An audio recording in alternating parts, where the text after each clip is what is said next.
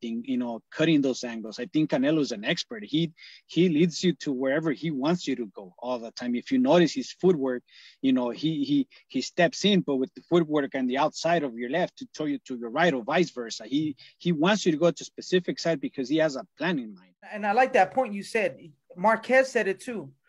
Uh, Marquez said, "You fight with your hands, but you also fight with your feet. You yeah. have to establish that that your your where you want your feet because because you could put your foot outside then you make them go the other way. You cut exactly. off the ring. That's what canelo did and and if you look study the fight and ramirez needs to work on that to to it's called ring generalship. You're the general in the ring. You make them do what you want. Tú vas a pelear como yo quiera